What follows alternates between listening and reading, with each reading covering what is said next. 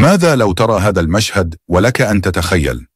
ترى في الصفوف الأمامية الحبيب المصطفى محمد صلى الله عليه وسلم وبجانبه بلال يكبر بأعلى صوت يزلزل به الأرض وترى جيشا من الأسود بقيادة سيف الله المسلول خالد بن الوليد والعادل مرعب الشيطان عمر بن الخطاب ومرعب الروم ضرر بن الأزور وسابق الخيل سلمة بن الأكوع والقعقاع الذي قيل فيه صوته في الجيش. خير من ألف رجل وعمرو بن العاص وعثمان بن عفان وأبو بكر الصديق وعلي بن أبي طالب وسعد بن أبي وقاص والزبير بن العوام وطلحة بن عبيد الله وغيرهم من الصحابة الكرام وجند الله في الأرض رضي الله عنهم هؤلاء الأبطال لن يبخلوا لنصرة المسلمين كما نرى اليوم من ظلم لكن الله على كل شيء قدير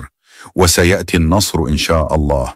قال تعالى وتلك الأيام نداولها بين الناس وليعلم الله الذين آمنوا ويتخذ منكم شهداء